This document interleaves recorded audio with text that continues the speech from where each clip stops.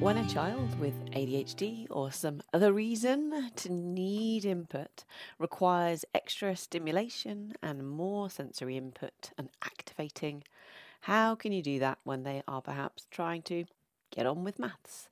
That's what we're going to think about in today's episode. Let's dive straight in.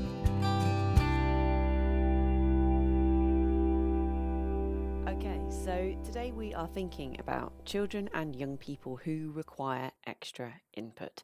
So, this is often going to be kids who have ADHD, but there might be other reasons why children might require a bit of stimulation. Sometimes this can be as simple as perhaps things have gotten into a little bit of a low in your class if you're teaching or in your group, and you think there's a bit of a need for activation. We're thinking that feeling, that post lunch feeling some of us get at conferences where we're just kind of drifting away from things and we need a little bit of something to zhuzh us up and bring us back into the room.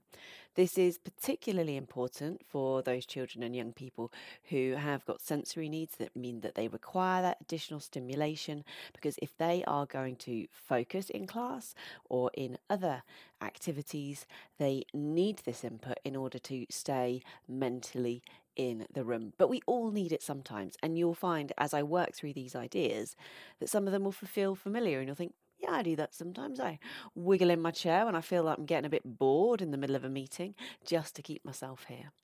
So anything kind of goes here. You're just trying to find ways that we can create some input to get the body feeling a little bit more different, to get the brain back on track when we're starting to get a bit distant.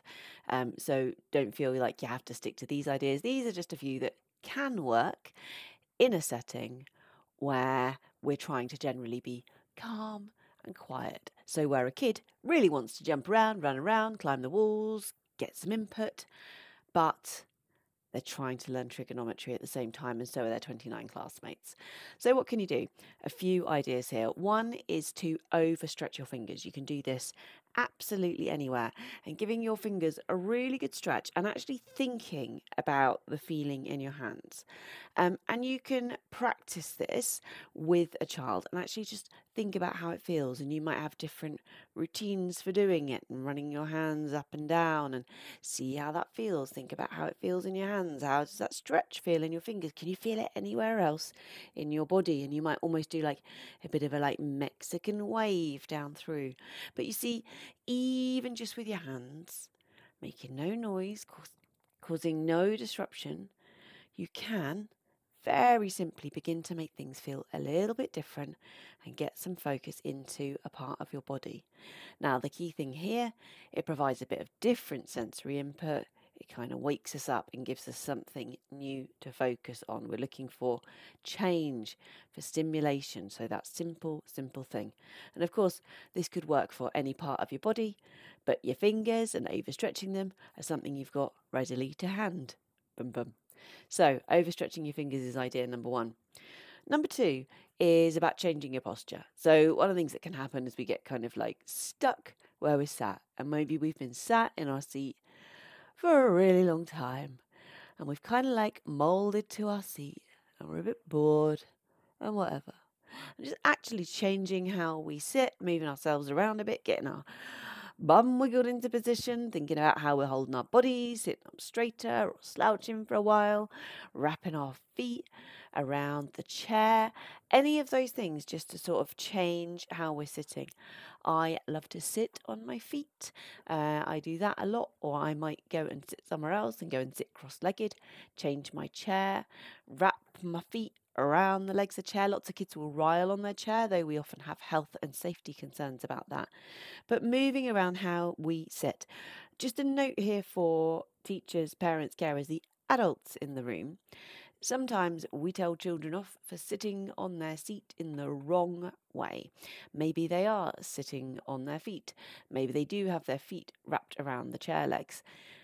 What I'd say is that often when a kid is doing this, this is them self regulating, trying to stay in the room, trying to stay focused and kind of moving themselves around in this way and changing the way their body is and their posture, altering, is a way of trying to focus and concentrate.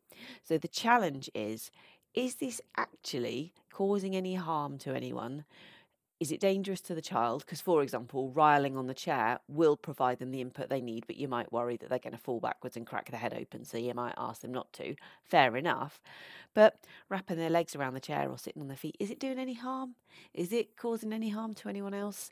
Is it all right if we just let them quietly get on with it? Does it really matter exactly how they sit on the chair?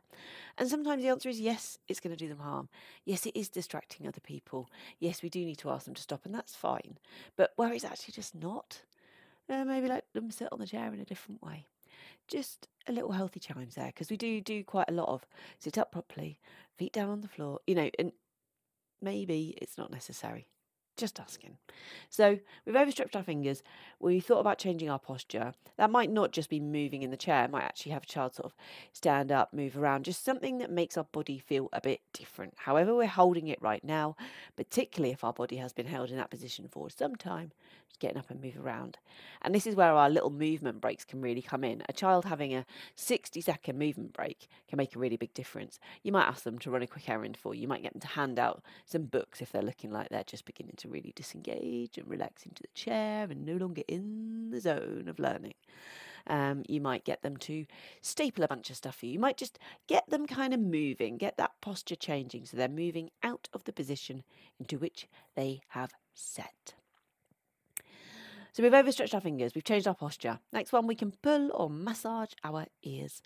Ears are great. We take them everywhere, and because they're in the face, then we've got quite a lot of good sensory input going in there. They're pretty sensitive. So give them a pull, give them a rub, just sort of play around with them a bit. Kids who've got earrings might want to twist them and fiddle with them and that sort of thing. But just having a general play with our ears. Again, we take them everywhere. It's not going to do anyone any harm if we give our ears a bit of a tug. Another one in terms of bits we take everywhere with us, bits of our body that we can have a go with, rolling our shoulders. So, rolling shoulders or hunching them up to our ears and then back down again to our ears and back down again. When we're feeling like a cold spring and we actually want to run around, jump around, all that kind of thing, moving of the shoulders can be a fairly big movement that's not going to cause big disruption in class. And you might do this kind of with a child, you might encourage them to do it, or you might notice them once you've taught them doing it in the middle of your lesson or group, and that's cool. Um, this is something that if you are parent or carer and you are, for example, taking your child out somewhere where they're going to need to sit for some time, they're kind of rolling the shoulders is something they can do without being seen to be disruptive and rude and all those things. And yes, we should be trying to provide our children with kind of proper sensory breaks and allowing them to step away, but sometimes that's not quite possible. And being able to roll the shoulders a little bit, move them around can be super helpful. So these are all things that are designed to be able to done with nothing, with no extra input wherever you are, because there are other things that would help here. Like, for example, you might have a child sit on a wobble cushion or a yoga ball, which would allow them to change that posture and get that extra input by moving around and, and getting that. But that involves having things, buying things, bringing them with you. So these are things that you can do without that. So we've overstretched our fingers, we've changed our posture in any way, moved around, changed how we're sitting, we've pulled or we've massaged our ears and got that sensory input near the face, and we've rolled or raised and lowered our shoulders. Next one is you could allow a child to work or continue whatever activity it is that they are doing standing up. So just going from sitting to standing can make a big difference. It totally changes the sensory input that we're getting. We're suddenly feeling our feet connecting with the floor, we're standing up straight, our spine's getting some input, and things do feel rather different. Having the ability to move between tasks that involve sitting at a desk and standing up can make a difference to how um, engaged your ADHD learner is going to be able to be. Uh, and for what it's worth, this doesn't just occur in ADHD learners, children, adults as well. So if you are an adult with ADHD or someone who just requires that additional sensory input every now and then, actually thinking about, you know, could you use a standing desk or could you every now and then stand up and move around a bit? I do a lot of my thinking on foot. So if I'm trying to work out six ideas, say, for activating in ADHD, I'm sometimes going to do that sat at my desk with pen and paper. Sometimes I'm going to get on my feet and I'm going to go and walk around my house and I do laps of our upstairs floor here whilst I'm thinking. And those ideas do tend to flow uh, as I'm moving around. So being able to get up, change that position, and just get our brains back in gear, get us connecting in a different way with our environment and provide that input. And that is possible for some, but not for all. But just a total change of position. Super helpful. And then finally, this one does involve a little bit of uh, things, but using a fidget toy. So there are so many different fidget toys. Uh, and if you want some ideas of quiet ones that you can use in the classroom, then I would recommend my daughter Lyra's YouTube video that you can find on my YouTube channel, which is Quiet Fidgets for the Classroom.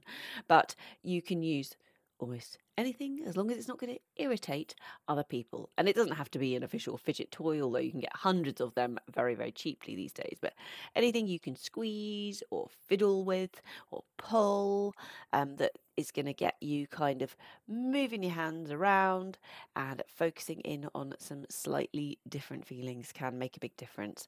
But key focus here is going to be within a setting with other people.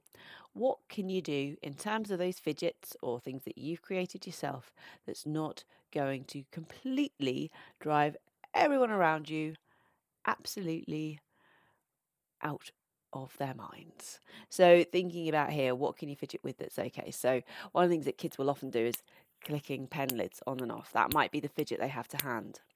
That, for you as a teacher, might make you want to throw that child out of the window. And I wouldn't recommend that. It doesn't go down too well uh, with the child, with the child's family, and actually you tend to feel a bit bad about it yourself. So we're not going to throw them out the window. So instead, we might think, well, they need that input right now. How can they get it in a different way?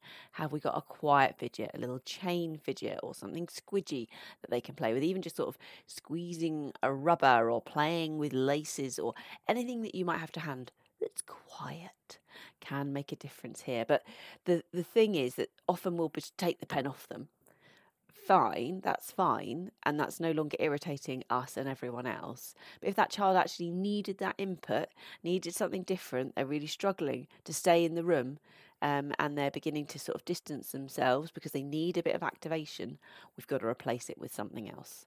So, the key thing here to remember is that some children, particularly those with ADHD, will find that if they don't get enough stimulation, enough activation from their environment, they will get quite sort of under responsive.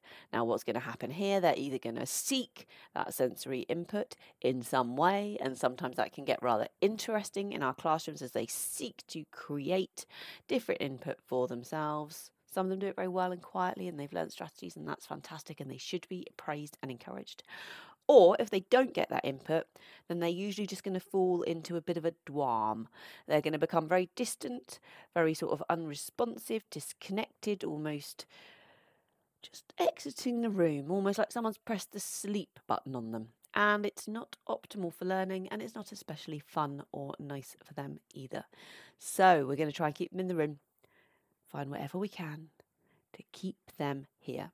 So the ideas were overstretching the fingers, changing the posture, pulling or massaging the ears, rolling of the shoulders, standing up and working on our feet if we can, or using some sort of quiet fidget toy.